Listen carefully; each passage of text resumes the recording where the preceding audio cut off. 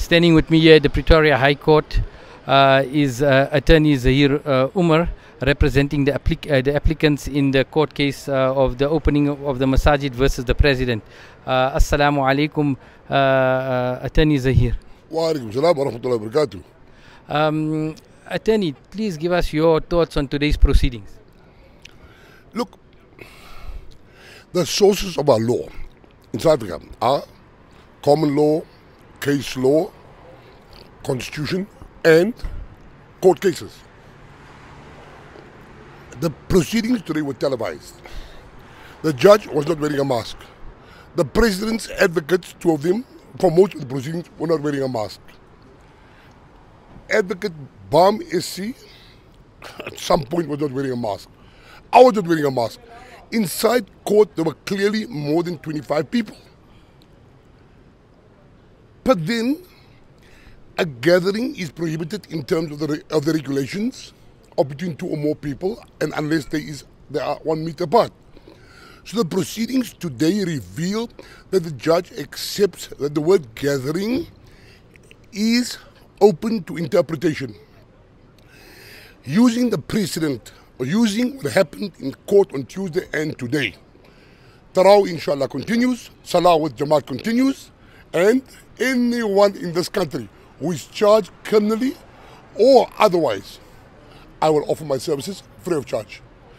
I want to emphasize the judges allowing for a congregation in her court whole of Tuesday and whole of today is setting a precedent that there are certain circumstances where this gathering is allowed. So the attitude and the conduct of the judge itself is an expression of the victory of the relief we sought to, to perform Salah with Jamaat in congregation. Uh, Attorney Zehir, what, what do you think the outcome of today's uh, proceedings will be, and when can we expect the outcome? And I said before, the outcome of Battle of Badr and Battle of Uhud. You know, Allah, Allah communicates with human beings through signs. There are signs. You look and you see, you listen and you hear. Now, isn't there enough signs? Hasn't Allah on the eve of the month, holy month of Ramadan, given, given us signs? Isn't the signs of the events at court confirmation that Salah can indeed be performed with Jama'ah? That's the answer.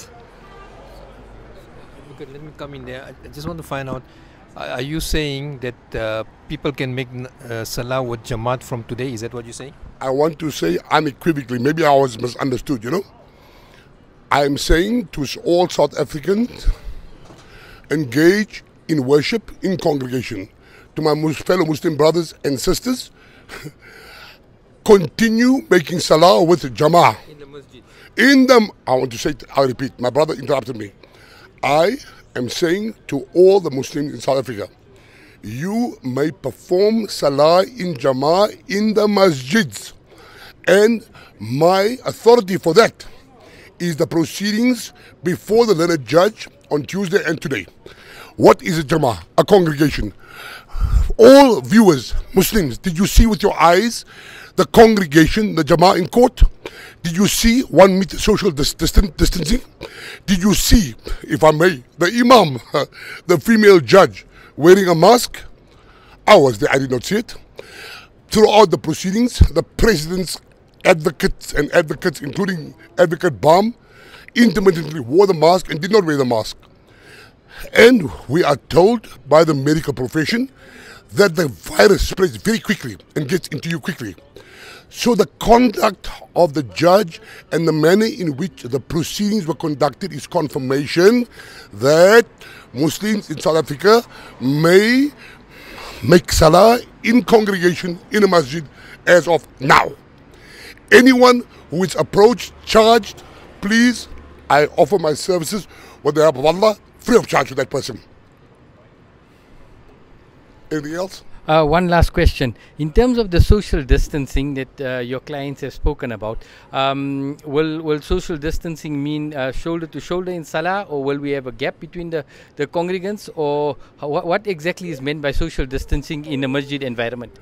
You see, this question too comes to, with respect, our understanding of the Holy Quran and Hadith. But the verse in the Quran concerning signs is clear in my respectful view. No? Allah communicates with human beings through signs. Now we're talking about, the question was concerning social distancing. The example is given to us by the court proceedings itself. Oh, you, you saw the proceedings live on TV. What was the distance between the people sitting in court? Was it as close or closer as it is during the performance of Salah with Jama'ah? You saw for yourself. So what I'm telling my Muslim brothers and sisters, you continue making Salah with Jama'ah in the masjid. Sisters, you are Hanafi, you make your Salah Alhamdulillah at home. No? Those masjid that provide for separate entrances, Alhamdulillah, you continue. But to answer your question unequivocally, the precedent as to what should happen on the eve of, Ramadan is set by the learned judge herself. And the answer is clear. Congregation gathering is not prohibited. It was not prohibited for the court proceedings for Tuesday and today. It cannot be prohibited for performance of Salah with Jama'ah.